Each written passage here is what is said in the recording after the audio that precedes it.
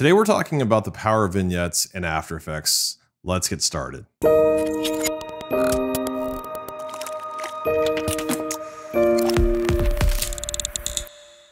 Hey everyone, my name is Cameron with Motion Science, and today we are talking about the power of vignettes in After Effects. Now, you may think of vignettes as a simple thing, but really a vignette helps to create framing uh, around our scene, and it can bring attention to certain areas of the scene. So let's jump into After Effects, and I'll show you what I mean. So here we are in After Effects. The first way to apply a vignette is to go to Effect and go down to Stylize, and we've got something here called CC Vignette and I click and you can see it's immediately applied here. If I turn it off and on, you can see how it's being applied to the edges.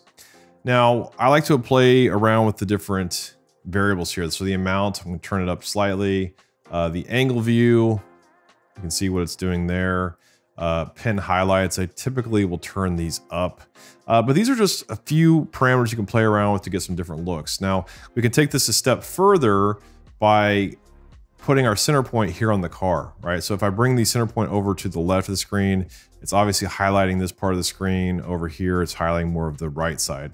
So if we follow the car, we can set a keyframe here for the center and go to the end of our timeline and bring it over here. And if I preview this, it's a very subtle effect, but it brings attention to the car driving down the road. Now I could also increase the amount here so we could really see the edges darkening up, and it's a lot more attention on the car driving down the road. So this is a simple way to apply vignette. Now I can take this a step further by turning off vignette. We're back to our original plate. Go to layer, new solid, and I can create a dark blue solid like we see here. And this is just a matter of me sampling the road right in here, clicking OK. And now we have a solid above it. Now, I can double click on the circular mask and that's a basic mask. I can go to the mask, click inverted and hit F for feather and turn that feather up like this. And now you can see instead of just black edges, we have these blue soft edges. Now I can take this a step further by taking that mask and I can double click it and rotate it to follow the road. So like we did with the vignette effect, and kind of bring it over here. I can turn down the transparency as well. Vignettes are typically a pretty subtle effect that we apply, but you can see now we've got kind of this bluish tint that's happening as it's following the road. Now I can take this a step further again by hitting M for mask, setting a keyframe here at the beginning, going to the end of the timeline, and rotating it more follow the road like we see here. And again, it's pulling attention to the car. I can take this a step further by changing the transfer mode from normal to something like hard light. And we can adjust the transparency again. I can crank it up, I can crank it down.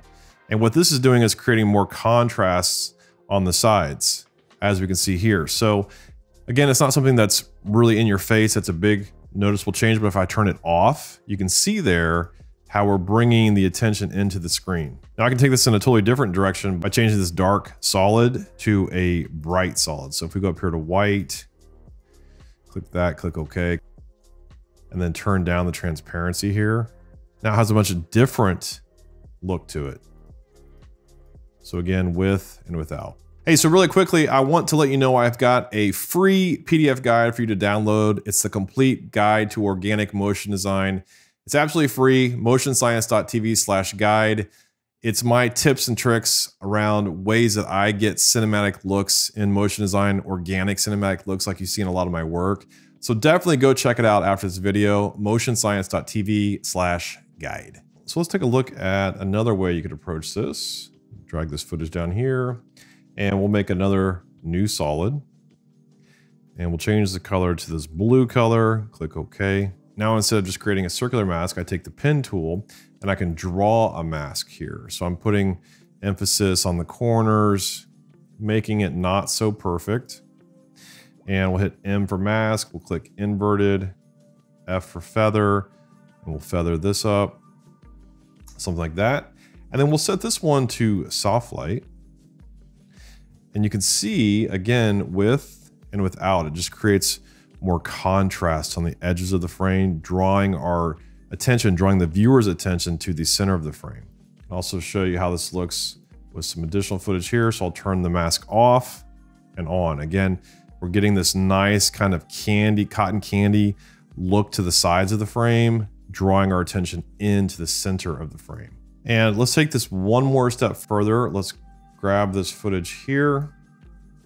And we're gonna go ahead and bring this solid over the top. So again, you can see how nice that looks, right? It's bringing the attention into the center of the frame.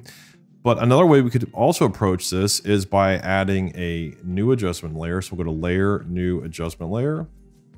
And we're gonna drop this underneath the color and we'll select M for mask, copy that mask and apply it to the adjustment layer.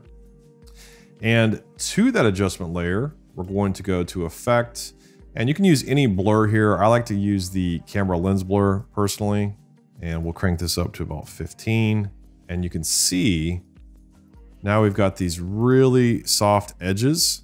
So footage by itself, blurred edges, and colored edges. I could actually even take this mask, bring it in just a little bit for the blur, shrink it in just a little bit, maybe bring the top of it up, but we are heavily blurring the edges.